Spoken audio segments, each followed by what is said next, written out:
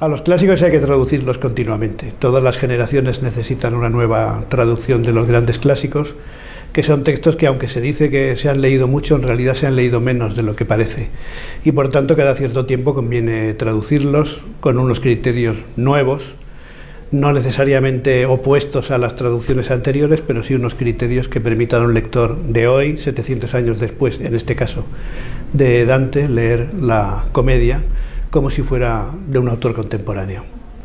Y en este caso hemos intentado que, además de una traducción puesta al día, respetuosa con el sentido literal y capaz de reconstruir el valor literario de los versos de Dante, contenga materiales que no ha sido tan frecuente poner en las eh, traducciones castellanas de la comedia. Hemos eh,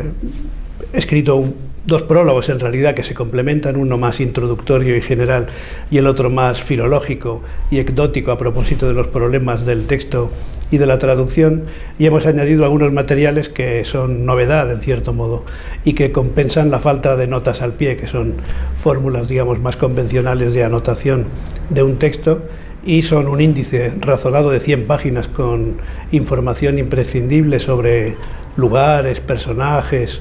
eh, históricos o literarios mencionados por Dante en su texto y una ilustración a modo de infografía del universo de Dante que ayuda al lector a seguir el itinerario del propio protagonista por el infierno, el purgatorio y el paraíso.